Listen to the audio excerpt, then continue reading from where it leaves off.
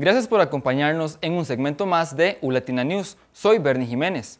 Recientemente, la Universidad Latina realizó algunas mejoras en sus espacios de parqueo, de las cuales conoceremos más en la siguiente nota.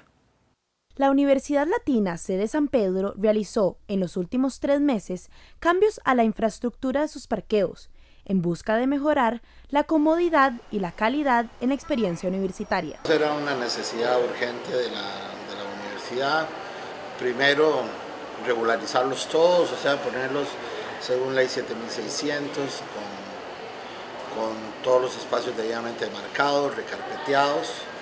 Eh, aparte, eh, sufrimos un aumento de, carros, normal, en nuestras etapas de crecimiento y ya nos estábamos quedando un poco estrechos con la cantidad de parqueos que teníamos. La universidad realizó cambios en tres antiguos parqueos y construyó dos nuevos. Se hizo un esfuerzo grande para este año en el cual eh, pusimos a tono todos los parqueos viejos, o sea, el parqueo Muñoz Sinane, el parqueo sur, el parqueo norte, el parqueo de odontología se amplió a 70 espacios eh, se hizo uno nuevo a la par del edificio B para 70 espacios también y aparte de eso se eh, adquirió eh, un nuevo compromiso en el parqueo Cabo Rico, bajo techo, aquí a 150 metros, que funciona básicamente de parqueo administrativo,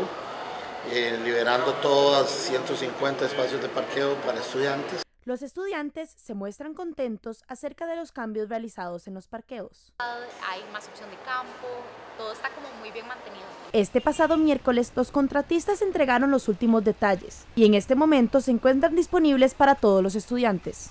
Visite nuestra página de YouTube ULatina TV. Hasta un próximo segmento se despide Bernie Jiménez.